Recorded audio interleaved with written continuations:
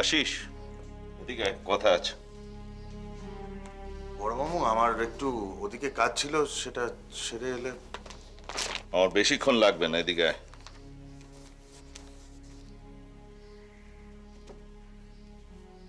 আমি বলছিলাম যে বিজিত নারায়ণ যে বাড়িতে এলো তার পেছনে কি তোর ইচ্ছে ছিল? তুই চেয়েছিলি ও আসুক। বড়মামু আমি তাকে কিছু বলব আর তিনি আমার কথা শুনে আসবেন। এতখানি আসপর্দা আমার নেই। তবে আমি এইটুকু জানি যে, তার আশাতে তুমি যে অসন্তুষ্ট হয়েছ, সেটা আমি বুঝতে পেরেছি। একটা কথা আমি স্পষ্ট করে বলে দিচ্ছি। এই বিজিত নারায়ণ আসার পরে উমার শরীর যদি খারাপ হয় তাহলে কিন্তু তোদের সকলকে জবাবদিহি করতে হবে। মায়ের শরীর আর নতুন করে কি খারাপ হবে বড় মামু? মা তো এখন একটা জীবন্ত দেখ ওসব নাটকের সংলাপ আমার ভালো লাগে না। আমার যা বলবার আমি পরিষ্কার বলে দিলাম। আমি কি এখন যেতে পারি? আমার কথাটা জবাব দিয়ে গেলি না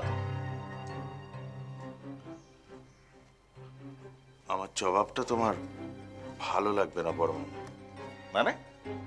হ্যাঁ তাই কিছু বললাম না। দেখো মাকে মাকে কিন্তু আমরা মানে আমরা সবাই আমরা কেউ মাকে বুঝতে পারিনি একমাত্র বড় মামি ছাড়া। কি বলছিস কি? তার মানেটা কি? মা হরিশ্চন্দ্রপুরে ফিরে যেতেই চেয়েছিলেন। কি বলি হ্যাঁ কিন্তু লজ্জায় মা কাউকে কিছু বলতে পারিনি। উমা হরিশ্চন্দ্রপুরে। তোকে এটা কে বলল? তোর মনে এটা কীভাবে এলো? থাক না বড় মামু এসব কথা আজকে আর আলোচনা করে কি লাভ? তবে আমি আমি এইটুকু বলতে পারি যে, আজকে মাকে জীবিত অবস্থায় যে আমার বাবার সাথে দেখা করাতে পারলাম এর থেকে বড় পাওনা আমার আর কিছু থাকতে পারে।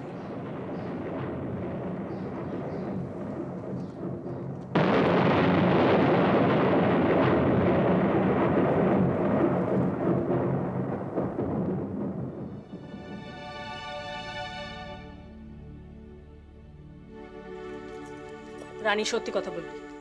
আমার কাছে কিচ্ছু লুকোবি না। প্রিয়া তোকে কিচ্ছু বলেনি? কিচ্ছু বলেনি। তুমি বিশ্বাস করো আমি কিচ্ছু জানতাম না। আমি একবারের জন্য ঘুণাক্ষরও কিচ্ছু জানতে পারিনি। হ্যাঁ হ্যাঁ হ্যাঁ, ও ও মাঝে মাঝে সব বলতো যে ও খুব ভালো মানে অঞ্জিষ্ণুর খুব প্রশংসা করতো। খুব নির্ভরযোগ্য টিচার খুব ভালো পড়ায়। এই- সব আর কি এছাড়া মাঝে মাঝে খুকি বলে না? মেয়েদের তাড়াতাড়ি বিয়ে দিয়ে দেওয়া উচিত? ঠিক বলে। স্কুল থেকে পাশ করে বেরোনো মাত্রই বিয়ে দিয়ে দেওয়া উচিত। বেশি পড়াশোনা করার এই ফল? ছি ছি ছি ছি ছি। আসলে আমার মনে হয় ও না ওই ফুলের লজ্জাটা মেনে নিতে পারেনি জানো? ভুল ভুল মানে? মানে ও তো মনে মনে অঞ্জিষ্ণুকে ভালোবাসতো। অঞ্জিষ্ণুরও সেটা জানার কথা নয়। প্রিয়া যখন জানতে পেরেছে যে অঞ্জিষ্ণু প্রজ্ঞাকে ভালোবাসে তখন এই কথাটা? আগ বাড়িয়ে ওকে কে বলতে গেল শুনি? আমি কিছু বলিনি তুমি বিশ্বাস করো আমার আমি কেন বলব? ও আমাকে জিজ্ঞাসা করছিল হ্যাঁ তখন আমি বললাম যে তুমি বিশ্বাস করো আমি জানতাম না আমি কি করে জানব যে মনে মনে ও ওকে ভালোবেসে বসে আছে? আমি আমি ঘুণাক্ষরও কিছু জানিনি তুমি বিশ্বাস করো? সর্বনাশ। তার মানে তুই বলেছিস? এখন খুকি যদি জানতে পারে কি হবে ভেবে দেখেছিস? তুমি প্লিজ বলো না। প্লিজ বলো না। অলোক জানে? মানে আর কি আন্দাজ করেছে? আসলে কথাটা তো ও আমাকেই শুধুমাত্র বলেছিল তাই জন্য আচ্ছা তুমি বলো তো এটা কি আমার বোঝার কথা? ও মনে মনে কাকে ভালোবেসে বসে আছে আমি কি করে জানব? তুমি বিশ্বাস করো আমি যদি একবারের জন্য জানতাম আর বাবা আমি না হয় বিশ্বাস করলাম কিন্তু খুকি সে বিশ্বাস করবে? নাকি তো বোঝে কম চেঁচামেচি করে বেশি। কার কাছে কি বলে বসবে ভগবান জানে। ইস বললেই হলো। বলুক না আমাকে যা খুশি তাই। আমিও তখন মুখের ওপর বলে দেবো। আমার তো কোনো দোষ ছিল না। আমাকে উল্টো পাল্টা বললে আমি বলতে ছাড়বো না আমি তোমাকে স্পষ্ট পুষ্টি বলে দেবো। সত্যি রানী তুই এক একটা যে কাণ্ড করিস না ভালো লাগে না আমার। কি এখন কাণ্ড হবে কে জানে? সত্যি। দেখলাম বটে একজন মানুষকে তোমার পিসমশাইকে। দেখলেই মনে হয় জমিদার মানুষ। যেমন সুন্দর চেহারা তেমনি পোশাক আশাক। সত্যি এই বয়সে এখনও এত সুন্দর তাহলে কম বয়সে না জানি কি ছিলেন? বাবা তো মুগ্ধ হয়ে গেছে একেবারে। হুম তা মিথ্যে কথা বলব না গো মুগ্ধ হয়ে গেছি। যাকে ভালো মন্দ যা দেখেছ দেখেছ এই নিয়ে বাড়ি কারোর সঙ্গে কোনো আলোচনা করার দরকার নেই। আচ্ছা শোনো মাকে তো দেখলাম বেশ খুশি খুশি ওনার সঙ্গে কথা বলছিলেন। মা তো চেয়েছিলেন পিসিমণি আবার তার নিজের বাড়িতে ফিরে যাক। সেটা সব দিক থেকে ভালো হতো। বাবা বুঝতে চাননি সেই কারণেই আর তোমার বাবা। তোমার বাবা নিজে কোনোদিন কারোর কথা শুনবেও না আর কারোর কথা বুঝবেও না। জোর জার করে নিজের বন্ধুর নাতনির সঙ্গে আমার সবুর বিয়েটা দিয়ে দিল আর সে চলে গেল বিদেশে। আমি বারণ করিনি তখন? যা বাবা এ তো ধান ভানতে শিবের গীত শুরু করে দিলে। হচ্ছিল পিসিমণি কথা জাম করে চলে এলে সবুর কথাতে। মোটেও পিসুমনির কথা হচ্ছিল না হচ্ছিল তোমার বাবার কথা। তোমার বাবা কারোর কোনো কথা শোনেন না সেই কথাই বলছিলাম আমি।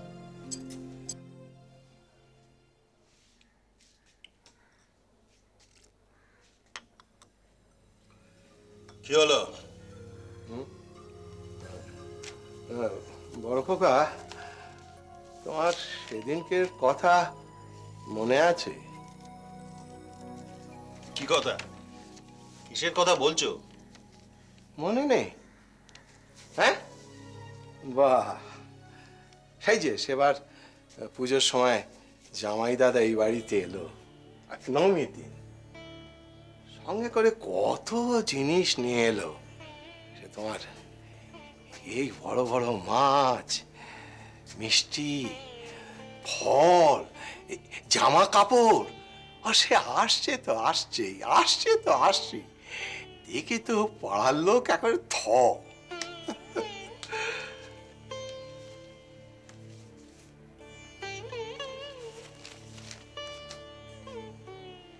অথচ তার কিছুদিন পরেই তো থাক। থাক বড় খোকা।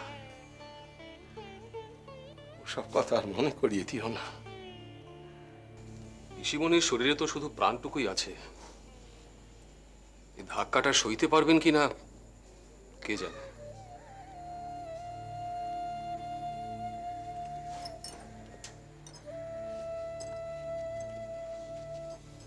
তবে এই ঘটনাটা ঘটে না একদিকে ভালো হয়েছে জানো? হ্যাঁ এই যে পিসিমশাই এলেন নিজের চোখে পিসিমাকে দেখলেন। মানে আমি বলতে চাইছি ধরো যদি কখনো কিছু হয়ে যেত তাহলে আমরা কোথায় মুখ দেখাতাম বলো তো? আশিস কিন্তু একটা জব্বর কাজ করেছে যাই বল। নিজে চেষ্টা করে দেখা সাক্ষাৎ করে বাবার সঙ্গে মায়ের দেখা করিয়ে দিল তো? আর নিজের আখেরটাও গুছিয়ে নিল।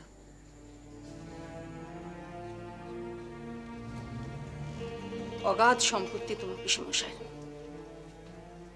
সব তো ওই পাবে তোমরা কখনো ভাবতে পেরেছিলে? আশিস ঠাকুরপো কিন্তু তোমাদের থেকে অনেক অনেক বেশি বুদ্ধি ধরে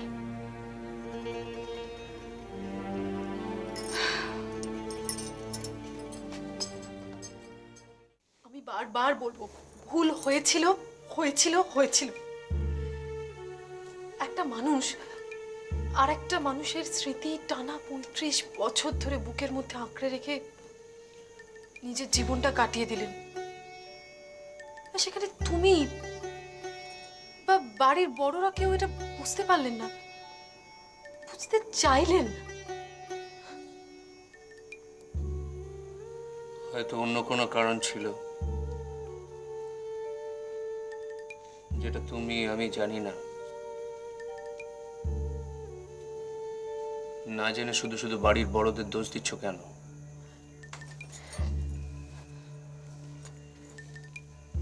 দেখো আমি তো একটা মেয়ে। একটা মেয়ে তার স্বামীকে কি চোখে দেখে সেটা তো আমি জানি। কি ব্যাপার বলো দেখি হ্যাঁ? তোমার আজকে কি হয়েছে কি? কথায় পেয়েছে নাকি? হুম? এবার বকর বকর করেই চলেছ। আ কথাটা শোনোই না। আমি কিন্তু তোমাকে বলি বলছি সেদিন বড়বাবু কাজটা কি ঠিক করেছিল?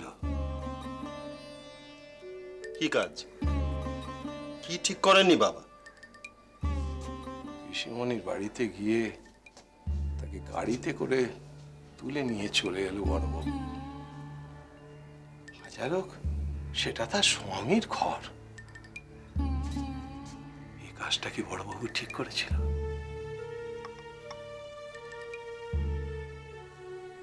হয়তো পিসিমণি নিজেই আসতে চেয়েছিলেন।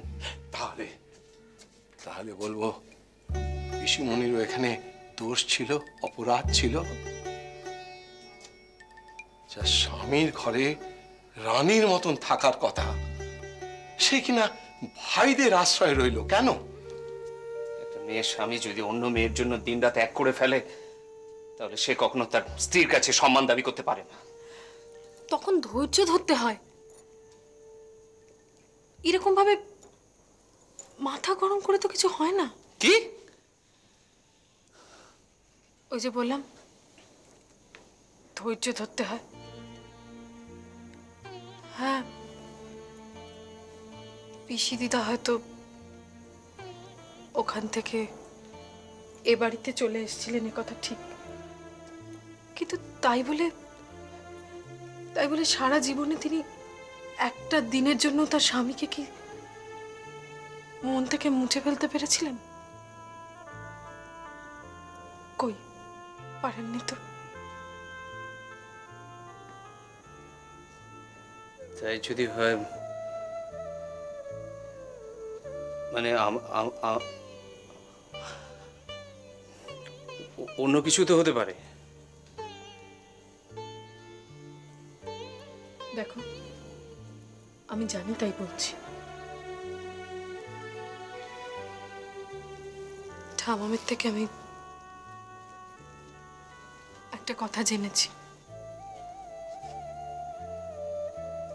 পিসি দিদা তার স্বামীর উপহার দেওয়া একটা বই আর তার একটা ছবি। সারা জীবন ধরে নিজের কাছে সযত্নে রেখে দিয়েছিলেন।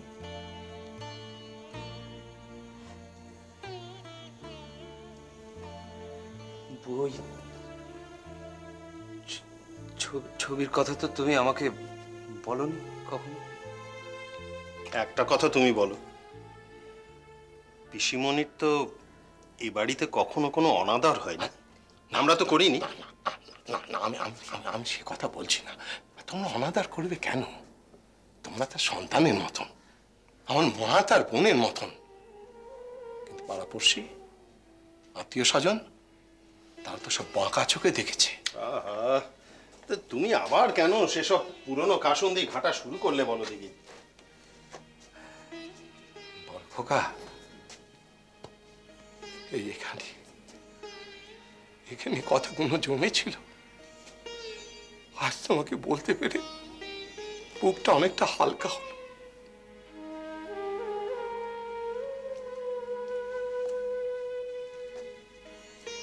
শোনো আমাকে বলেছ বলেছ। আর কাউকে এসব কথা বলতে যেও না। মনে থাকবে? মনিবের মান রাখতে আমি জানি, বড় খোকা। ও নিয়ে তুমি কিছু ভেবো না।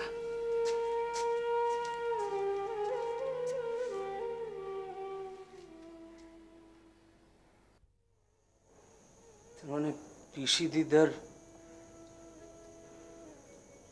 ফিরে যাওয়ার ইচ্ছে ছিল। অথচ সেই ইচ্ছেটা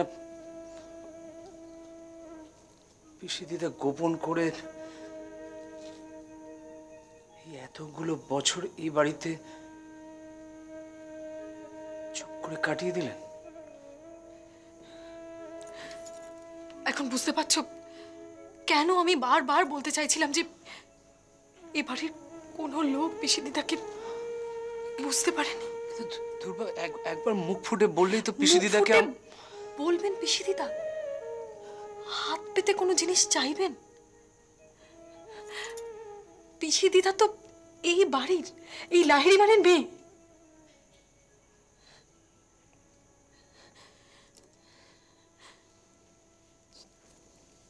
সেই কারণেই পিয়াও কিন্তু নিজের জীবনটা শেষ করে দিতে গিয়েছিল।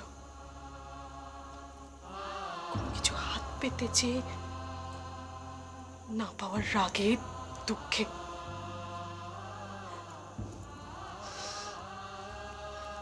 সেই জন্য এই কথাগুলো আজ আমি তোমাকে বললাম।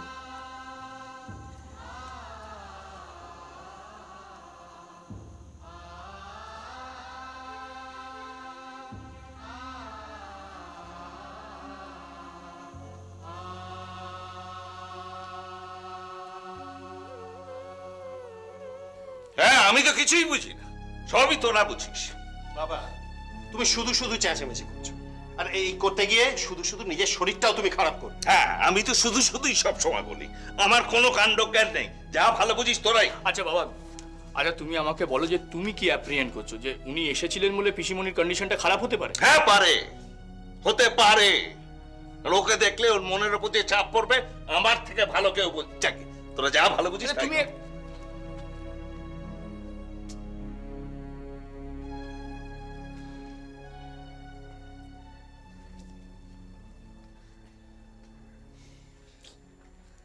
আজকাল এত অল্পতে ইরিটেটেড হয়ে যাচ্ছেন। আমি আমি তোকে মানে সিরিয়াসলি বলছি অলোক আমার কিন্তু ভয় করছে রীতিমতো। আসলে কি জানো তো দাদা? বাবা সব ব্যাপারে এত বেশি রিজিড না। এই কারণে ইরিটেশনটা বেশি হচ্ছে।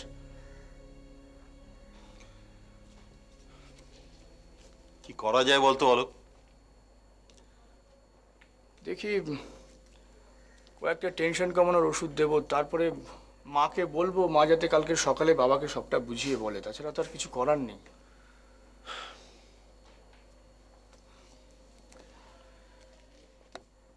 হ্যালো হ্যাঁ বল। তুই পিসেমশাইকে আগে দেখিসনি না? না গো। এবারেও তো দেখা হতো না ফর্চুনেটলি উনি যখন বেরিয়ে যাচ্ছেন আমি তখন জাস্ট ঢুকলাম। দাদা এখনও কি অসাধারণ না? হ্যাঁ? আমি অনেক ছোটবেলায় দেখেছিলাম জানিস? হ্যাঁ। তখনকার চেহারা পিসেমশাইয়ের আরে বাপরে প্রিন্স একেবারে। সত্যি? একেবারে প্রিন্স। জাগে শোন। তুই মাকে কি বলবি ভাবছিস? তুমি দাদা মাকে নিয়ে চিন্তা করো না কারণ উনি তো চেয়েছিলেন যে পিসেমশাই এই বাড়িতে আসুক। তাহলে অন্তত পিসিমণি এটুকুনি বুঝতে পারবে যে শেষ সময়ে পিসেমশাই ওনার কাছে এসেছিলেন। অন্তত পিসিমণি এই এই শেষ সময়ে ওই দুঃখটা তো পাবে না।